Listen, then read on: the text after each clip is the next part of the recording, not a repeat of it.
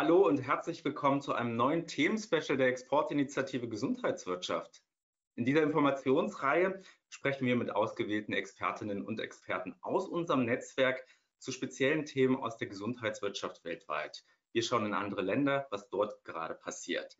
Mein Name ist Axel Lose, ich bin bei der Exportinitiative Gesundheitswirtschaft und heute haben wir wieder mal ein unglaublich spannendes Thema. Es geht um Präzisionsmedizin und auch personalisierte Medizin. Und wir schauen auf die andere Seite der Welt nach Australien. Wir alle wissen, dass innovative Ansätze die Landschaft der Gesundheitswirtschaft unglaublich verändern. Und heute wollen wir erfahren, was Down Under los ist. Wussten Sie beispielsweise, dass es auch ein nationales Genomprojekt gibt in Australien, Darüber und noch über viele andere Themen werden wir mit unserem Gast sprechen.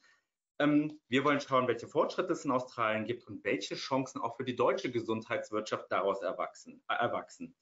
Und wir, das sind mein Gast und ich. Ich freue mich sehr, heute Bettina Scheels, Cluster Managerin Health und Life Science bei der Deutsch-Australischen Handelskammer begrüßen zu dürfen. Frau Scheels, herzlich willkommen und vielen Dank, dass Sie sich die Zeit genommen haben, heute mit uns zu sprechen und bevor wir in die Tiefe gehen zur personalisierten Medizin, könnten Sie uns vielleicht noch ein, zwei Worte zu sich sagen und vor allem eine Frage, die mir wirklich am Herzen liegt, das Gesundheitscluster in Australien. Was hat es damit auf sich? Denn wenn wir auf die Landschaft der Auslandshandelskammern schauen, ist es doch etwas Uniques, etwas Einzigartiges. Vielen Dank, dass ich heute dabei sein darf, Herr Lose. Freut mich sehr, dass ich eingeladen wurde und auch ein äh, herzliches äh, Guten Morgen, guten Tag äh, nach Deutschland hier aus Australien. Danke für die, für die schöne Einführung. Ja, ich ähm, bin bei der AHK Australien für den Cluster Health and Life Science zuständig. Ähm, wir haben bei der AHK Australien ein bisschen ein einzigartiges System, dass wir neben unserer natürlich normalen Mitgliederbetreuung und auch Markteinstiegs- und Netzwerkarbeit ähm, auch spezialisierte Cluster haben. Wir haben aktuell drei Cluster. Ähm, wir haben den Energy Cluster, Mining and Resources und eben den Health and Life Sciences Cluster. Und in diesem Cluster und in meinem Job darf ich mich mit den Mitgliedern, die im Besonderen im Bereich Health and Life Sciences. Das sind vor allem Pharma- und MedTech-Firmen, aber auch im Bereich Consulting ähm, und Forschung haben wir Mitglieder, die in dem Bereich besonders aktiv sind. Und der, das Cluster erlaubt mir, mit den Mitgliedern Aktivitäten insbesondere in diesem Bereich zu machen. Events, Roundtables, die sich speziell mit Themen beschäftigen, die diese Industrie treibt. Und ähm, wir haben diese Cluster jetzt seit gut zweieinhalb Jahren und ähm, es, es kommt gut an bei unseren Mitgliedern. Das macht auch sehr viel Spaß und äh, ich habe viel gelernt ähm, von unseren Mitgliedern, von dem Netzwerk hier in Australien in der Zeit. Und ähm, es ermöglicht einen tieferen Kontakt, ein tieferes Eingehen auf die Themen in den einzelnen Industrien. Vielen herzlichen Dank darum geht es uns heute auch, ein bisschen Einblick zu gewinnen eben in das, was Australien umtreibt und was vielleicht auch die deutschen Unternehmen künftig umtreibt. Also Australien gilt als Standort eben äh, als besonders guter Standort für Forschung und Entwicklung im Bereich personalisierter Medizin. Aber warum ist es denn eigentlich so? Was macht eigentlich das Land so attraktiv? Australien ist allgemein ein guter Standort für Forschung und Entwicklung, nicht nur für innovative oder Präzision, Präzis, Präzisionsmedizin. Es liegt vor allem daran, dass Australien sehr moderne Einrichtungen hat. Die Forschungseinrichtungen, Universitäten, Krankenhäuser sind hochmodern mit hochmoderner Infrastruktur. Gleichzeitig ist auch das Ausbildungsniveau sehr hoch. Das heißt, wir haben sehr gut ausgewählt, sehr gut ausgebildetes Personal ähm, aus dem eigenen Land, auch aus dem Ausland. Und die Regierung unterstützt Forschung sehr stark. Auch gerade im Bereich klinische Studien ist Australien jetzt nicht führend, aber doch, ähm, wie man auf, auf gut Englisch sagt, ähm, punched above its weight. Also wir sind äh, deutlich stärker, als, das, als die Größe des Landes vermuten lassen würde ähm, aufgrund auch ähnlicher Bedingungen, eben die guten Einrichtungen, das Personal. Dadurch, dass wir auch äh, andere Jahres- und Tageszeiten haben, können, kann in Australien können Studien durchgeführt werden, die zum Beispiel jahreszeitabhängig sind, können rund ums Jahr herum. Man muss nicht warten, bis die äh, Grippesaison in, in Europa eintritt, sondern man kann Studien eben auch äh, rund ums Jahr hier in Australien durchführen. Ähm, die Förderungen der Regierung sind vor allem im Bereich äh, Forschung interessant. Da wird es auch in einem zweiten Webinar, wie ich weiß, noch ein bisschen genauer darum gehen, wie man sich als Unternehmen ähm, Steuervorteile ähm, erarbeiten kann, indem man sich hier indem man hier investiert. Ähm, Gerade in Bereichen Onkologie, Neurologie und Herzgefäßkrankheiten nimmt Australien eine führende Rolle in Forschung und Entwicklung ein. Und diese Bereiche decken sich auch unter anderem mit den Prioritäten der nationalen Gesundheitsversorgung. Zudem ist auch ein großes Interesse, gerade bei den Forschungseinrichtungen, an Kollaborationen mit Industrie und Partnern, um eine schnelle und auch zielführende Forschung, aber dann auch Kommerzialisierung zu gewährleisten das Stichwort Regierungsunterstützung fiel. Also das würde mich nochmal interessieren oder auch sicherlich unsere Zuhörer und Zuschauerinnen. Ähm, welche Initiativen gibt es denn? Also vielleicht auch ein bisschen Name-Dropping äh, oder Programme oder welche Investitionen sind abzusehen? Also worauf sollte man achten? Also grundsätzlich ähm, fangen wir jetzt mal von, von, von, klein auf groß an. Eben gesagt, die individuellen Investitionen ähm, oder die individuellen Unterstützungen für Investitionen von Unternehmen, wenn man nach Australien geht und Forschung und Entwicklung investiert, gibt es zahlreiche Förderoptionen, die über einen nationalen Grant Finder ähm, eingesehen werden können. Häufig insbesondere wenn Zusammenarbeit mit Forschungseinrichtungen gegeben ist, ist es häufig leichter, an diese Grants ranzukommen. Also macht es durchaus Sinn, sich mit Universitäten, Forschungseinrichtungen zusammenzusetzen und zu schauen, wo können wir zusammenarbeiten, um in diesem Bereich weiterzukommen. Ähm, und eben gerade diese Zusammenarbeit zwischen Forschung und Industrie wird besonders gerne gefördert. Ähm, andere Bereiche, die es gibt, ähm, ist zum Beispiel die äh, Genomics Health Future Mission ist das ein vorletztes Jahr, glaube ich, ähm, veröffentlichtes Programm, das mit rund 500 Millionen Dollar unterstützt wird. Ein Regierungsprojekt, das das Ziel hat, die Genomforschung voranzutreiben, vor allem eben um die Verbesserung von Tests und Diagnosen für viele Krankheiten zu ermöglichen, die Personalisierung von Behandlungsoptionen dazu beizutragen und dann auch die Gesundheitsergebnisse gezielter und besser zu erreichen und damit auch unnötige Eingriffe und Gesundheitskosten zu reduzieren. Mhm. Also das Ziel der Investitionen ist natürlich einerseits das Leben von vielen hunderttausend Australiern entweder zu retten, zu verändern, zu verbessern ähm, oder auch bessere Tests und Diagnosen zu ermöglichen. Ähm, aber auch den routinemäßigen Einsatz von Genomik im Gesundheitswesen zu fördern, zu unterstützen, dass das nach und nach Einlauf nimmt. Australien, wie viele andere Länder, hinkt natürlich in der Umsetzung der Genomforschung und Präzisionsmedizin noch ein bisschen hinterher. Die Forschung ist weit, die Anwendung noch nicht ganz so weit, weil viele Aspekte mit reinkommen, wie Datenschutz, ähm, Offenheit der Patienten, ähm, Ausbildung der, des Personals. Da kommen viele Dinge mit rein, warum Sachen warum die Sachen nicht so schnell vorangehen, wie man es gerne hätte. Auch natürlich die Regulierung von Präzisions- und Genomforschung ist sehr wichtig, dass hier einfach mit den Daten der Patienten, dass die ordentlich und sicher behandelt werden. Was diese Future Mission auch ähm, plant zu tun, ist neue hochqualifizierte Arbeitskräfte zu schaffen und neue Karrierewege auch zu kreieren, aber auch den Mehrwert der Genomforschung und die Herausforderungen, die damit kommen, wie zum Beispiel Datenschutz in der australischen Gesellschaft zu diskutieren und gute Lösungen für alle zu finden. Ähm, und dann auch die Entwicklung einer sicheren Datenspeicherung, ähm, eines sicheren Zugangs, Analyse, Austausch ähm, zum Nutzen der Australier zu, zu zu kreieren. Es gibt, also das ist jetzt eine Investition, es gibt einige ähm, Assoziationen und Verbände, die sich in diesem Bereich äh, sehr aktiv betätigen. Führend hier ist einmal Australian Genomics. Das ist aktuell die führende Genomforschung, Präzisionsmedizins ähm, ähm. Ähm, die Aufgabe von Australian Genomics ist, äh, äh, staatlich finanzierte Genomforschungsprojekte zu unterstützen, ähm, diese Forschungsergebnisse dann auch zur Verfügung zu stellen, um Politik, aber auch die Praxis und die Bevölkerung zu informieren und vor allem aber auch nationale Standards für die Verwaltung und den Schutz genomischer Daten voranzubringen. Ähm, Australian Genomics ist ein Netzwerk aus nationalen und internationalen Ärzten, Diagnostikern, Forschern, Industrie, Politik, Verbraucher, die sich eben gemeinsam für eine faire und angemessene Anwendung der Genomik im Gesundheitswesen einsetzen wollen. Oh, was, ähm, bitte, Herr Lose?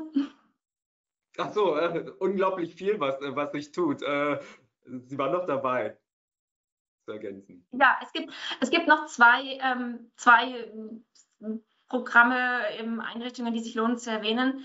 Einmal hat die Regierung, da sind wir jetzt wieder im Bereich, was macht die Regierung in diesem Bereich?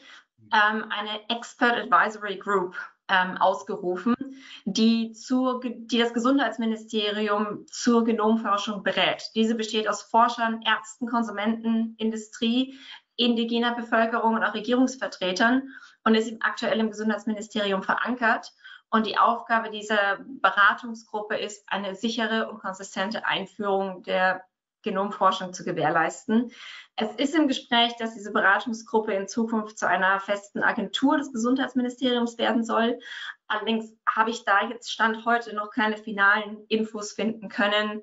Die Absicht ist jetzt schon eine Weile her, aber äh, mal sehen, ob daraus noch eine offizielle Agentur wird.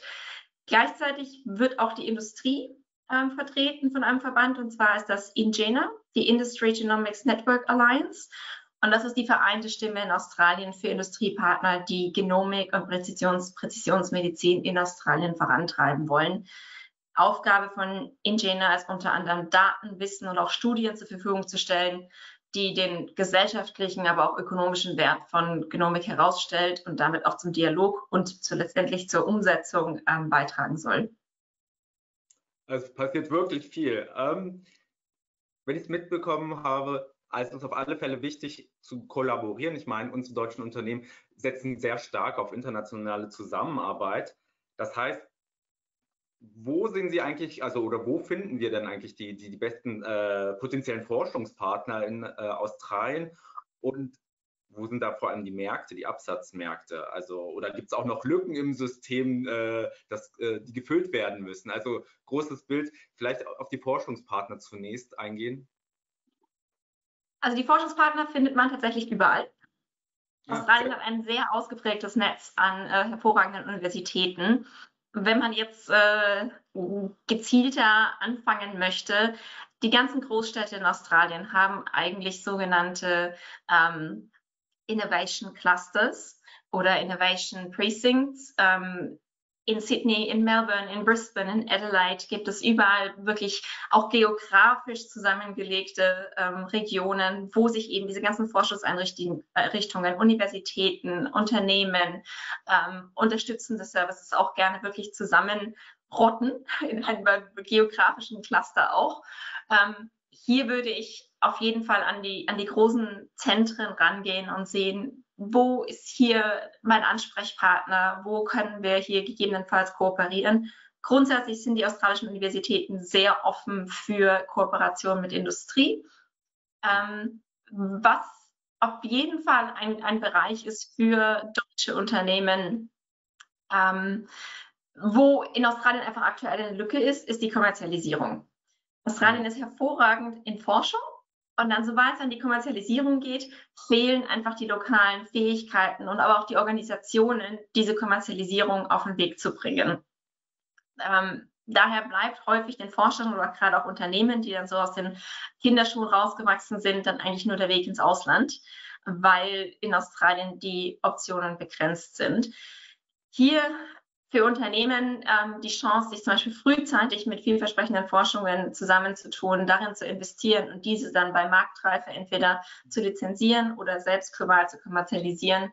Gerade auch im Bereich High-End Genomics oder ähm, fortgeschrittenen Technologien ist durchaus eine Option oder auch Unternehmen, die deren Businessmodell ähm, es ist, bei der Kommerzialisierung zu unterstützen. Ähm, da hat Australien auf jeden Fall noch Bedarf. Wo auch ein, eine gute Chance für, für, den, also für, für den Markteintritt ist die bei der Herstellung und Produktion. Und zwar jetzt nicht für die günstige Massenproduktion. Ich glaube, es ist jetzt kein Geheimnis, dass Australien nicht der ideale Standort dafür ist. Aber gerade für hochspezialisierte und hochtechnologische Produktion, zum Beispiel eben die Gen- und Zelltherapien oder auch für personalisierte Medizin oder seltene Krankheiten, da hier die hochtechnologische Infrastruktur vorhanden ist, das ausgebildete Personal aber auch die Nähe zum asiatisch-pazifischen Absatzmarkt, wodurch dann die lokale Produktion auch letztendlich wertschöpfend gemacht werden kann. Ein dritter Bereich, wo auch so, ich will nicht sagen Lücken, weil Australien in dem Bereich vor allem eigentlich relativ stark ist und auch aufholt, aber durchaus Bedarf und Potenzial ist, ist im Bereich ähm, Datenverarbeitung, gerade auch im Bereich Genomik, personalisierte Medizin. Ähm, es, es sind eine Un Unmengen an Daten kommen hier zustande. Und hier die sichere und zielgerichtete Verarbeitung dieser Daten ähm, ist von hoher Bedeutung. Die Anwendung von künstlicher Intelligenz, von Machine Learning. Ähm, Unternehmen, die in diesen Bereichen Expertise und ähm, Erfahrung haben, haben hier durchaus eine Chance, dadurch, dass Australien einfach noch sehr viel wächst in dem Bereich, jetzt an diesen Zeitpunkt reinzukommen und zu sagen, wir haben Lösungen, die schon funktionieren. Ähm, wir können euch helfen, diese Daten so auszuwerten, dass sie sicher sind und auch zielführend zu dem führen, was damit erreicht werden möchte. Abgesehen vom Datenmanagement, was denken Sie denn, welche Produkte und Lösungen aus Deutschland vielleicht noch einen Absatz finden könnten? Also wenn wir tatsächlich jetzt vom in Australien äh, verkaufen, Export nach Australien sprechen? Ach, ich tue mir schwer, jetzt konkrete Produkte und Lösungen ähm, zu benennen. Ich würde eher sagen Anwendungsbereiche. Mhm. Ähm, da, da ist es ein bisschen einfacher. Gerade im Bereich mentale Gesundheit hat mhm. ähm, viel Nachfrage. Äh, es gibt eine Studie von ein oder zwei Jahren, dass fast 50 Prozent der australischen Bevölkerung eine chronische Erkrankung haben und darunter mentale Gesundheit führend ist. Das heißt, die Nachfrage für Behandlungen im Bereich mentaler Gesundheit ist sehr hoch. Ähm, ebenso auch im Bereich frühkindliche Erkennung und Krebsvorsorge und auch Behandlung, ähm, weil hier auch die meisten ähm, die größten Chancen sind, gerade mit, äh, mit Gentherapie, mit Zelltherapie auch äh, Auswirkungen zu haben. Ähm, es ist eine Studie von vorher erwähnten Ingena und Deloitte, die in Australien durchgeführt wurde, hat ergeben, dass bei Menschen mit Depressionen pharmakogenetisches Testen einen signifikanten Unterschied in der Reaktion auf die gewählte Medika Medika Medika medikamentöse Behandlung ergeben hat. Ähm, ebenso ein Testen auf ein genetisches Brustkrebsgen bei ähm, Hochrisikopatientinnen ähm, hat erlaubt, entsprechende Vorsorgemaßnahmen vorzunehmen. Also gerade in dem Bereich passiert relativ viel und ähm, Unternehmen, die in diesem Bereich aktiv sind, sollten sich Australien als Markt durchaus, durchaus ansehen. Ein also, anderer Bereich, der ähm, sehr interessant, allerdings auch relativ speziell sein könnte, ähm, ist der ganze Bereich indigene Gesundheit. Mhm. Ähm, die Gesundheitsversorgung der indigenen Bevölkerung ist sehr wichtig in Australien. Und es gibt mhm. tatsächlich zahlreiche Studien, die nachweisen, dass die genetische Basis der indigenen Bevölkerung sich von der nicht indigenen Bevölkerung unterscheidet.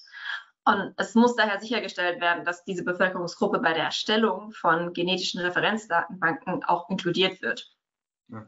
Es gibt eine aktuelle Studie, von, Studie vom letzten Jahr, bei der Forscher ähm, indigene Bevölkerungsgruppen aus verschiedenen Regionen Australiens untersucht haben und dabei Millionen von kleinen genetischen Unterschieden und Hunderttausende größerer struktureller Varianten gefunden haben, die die DNS-Segmente beeinflussen. Bisher wurden alle Entscheidungen für Behandlungen über das ganze Land hinweg ähm, auf Basis der äh, DNS von nicht indigener Bevölkerung getroffen. Und diese Studie bietet jetzt die Grundlage für ein neues genomisches Datenset für indigene Australier. Das ist vor allem deshalb interessant, weil es frühere Studien gibt, dass Australier, also indigene Australier anfälliger sind für bestimmte Krankheiten wie Nierenerkrankungen, Diabetes, Herz-Kreislauf-Erkrankungen, Krebs und auch viele weitere. Und warum das ist noch nicht geklärt, aber da könnte die Genomforschung ähm, und auch diese aktuellen Studienergebnisse wirklich einen wichtigen Beitrag dazu leisten, dass die Gesundheitsversorgung auch für die indigene Bevölkerung ähm, angemessen und zielgerichtet ist. Also wo, wenn Unternehmen hier Interesse an diesem Bereich haben, ist hier auf jeden Fall eine, eine große Marktchance. Super spannend. Also es ist wirklich sehr viel in Australien los. Ähm, Nochmal ein kurzes Fazit aus Ihrer Sicht. Was macht äh, Australiens Innovationslandschaft so unique, gerade bei dem Bereich personalisierter Medizin? Ähm, ich weiß nicht, aber also unique im Sinne von, dass ähm, ja, der Bedarf für die, die indigene Bevölkerung, das ist definitiv äh, einzigartig in Australien aber auch grundsätzlich die Offenheit der Bevölkerung für moderne und innovative Behandlungen.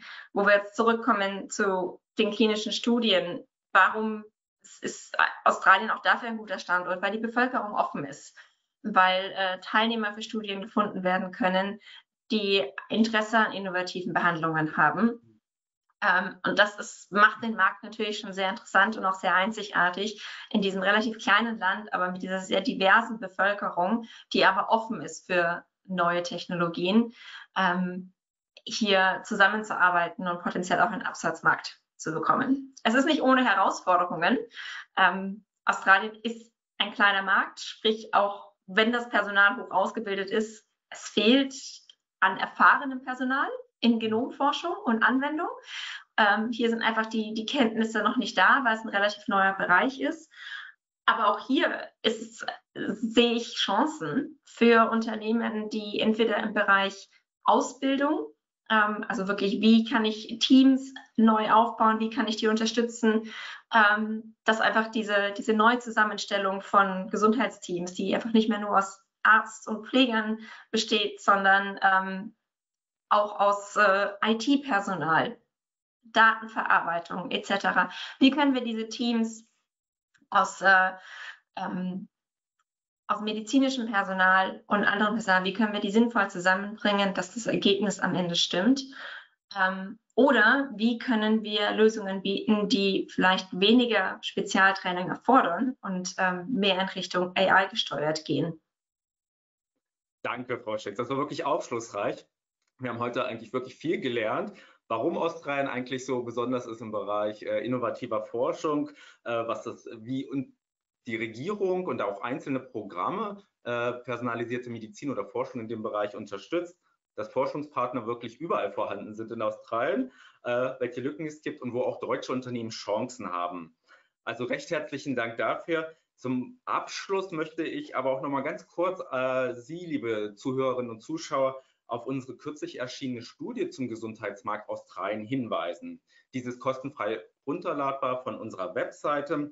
Die Studie bietet dann noch mal ein bisschen umfangreicheren äh, Einblick in zentrale Themen wie Zulassung, Erstattung und Vertrieb sowie zahlreiche Marktdaten, weiterführende Links, aber auch praktische Tipps, wie eben der Markteinstieg im Bereich Gesundheit in Down Under funktionieren kann. Also ein absolutes Muss für all diejenigen von Ihnen, die sich jetzt noch mehr mit dem australischen Gesundheitsmarkt auseinandersetzen möchten. Bettina Stehls, vielen herzlichen Dank, dass Sie sich heute die Zeit genommen haben, Ihr Wissen und Ihre Erfahrung geteilt haben, uns Einblicke gegeben haben in Australiens Gesundheitswirtschaft. Und auch noch ein letzter Appell. Vielen Dank für Sie, die eingeschaltet haben. Äh, auf unserer Webseite exportinitiative-gesundheitswirtschaft.de können Sie noch viel mehr entdecken zu anderen, auch spannenden Märkten der Gesundheitswirtschaft rund um den Globus. Ich freue mich, Sie bald wieder begrüßen zu dürfen. Bis zum nächsten Mal, Ihr Axel Lose.